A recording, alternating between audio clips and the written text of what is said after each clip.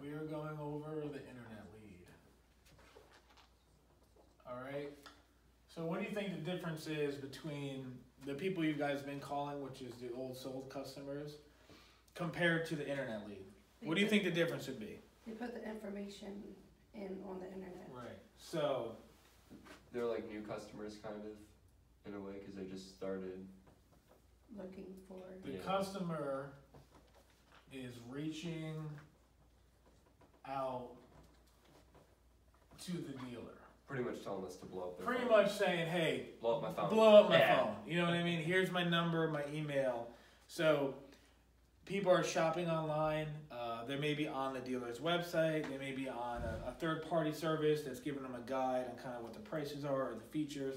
But they're putting their information and they're saying, basically, Tyler, here, blow up my phone. So the issue is that the customer when they're online, they can go to one dealer and then within four to five seconds go to another dealer's website and then another, and then go to another third party service. Within five to ten minutes, they can go to maybe 10, 15 different sites and put in that information. So you're not going to be the only person calling uh, this lead. You know, this lead, you know, one lead is probably going to put in between five and eight dealers. Holy crap.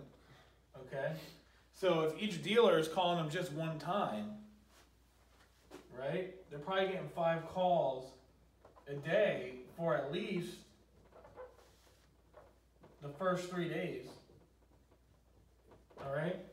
On top of that, that person's probably working, maybe taking their kids to school, doing a project, they may have a doctor's appointment, a dentist appointment. They have other stuff going on. Okay? So I want you guys to realize when these people don't answer, they have other stuff going on. You know, buying a car. Yeah, they have a life. Their their number one focus isn't, you know, buying a car at that moment. So you have to even though they put the information in, it doesn't mean they're not interested, right? If they don't if they don't answer.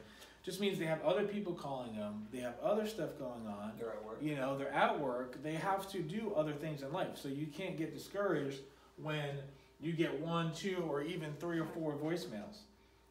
You have to contact an internet lead five to seven times to get a response, not an appointment.